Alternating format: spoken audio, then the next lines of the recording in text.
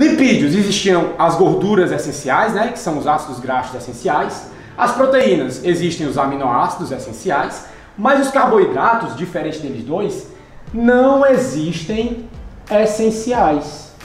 Não existe na natureza carboidrato essencial, ou seja, carboidrato não é algo fundamental para a vida humana, diferente de gorduras e proteínas. De forma geral, os carboidratos são primordialmente fonte de energia.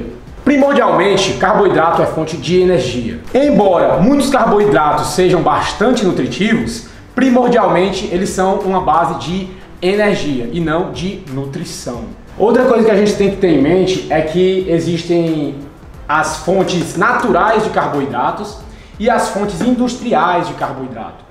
Enquanto as fontes naturais de carboidrato sempre foi consumido durante toda a evolução humana também sem grandes problemas, hoje em dia a maior disponibilidade de carboidratos que nós temos no mercado são carboidratos industrializados, carboidrato, carboidratos industriais que são carboidratos de fácil absorção para o nosso corpo e, de, e são extremamente pobres em nutrientes. Tem bastante energia, mas não tem nada de nutrientes.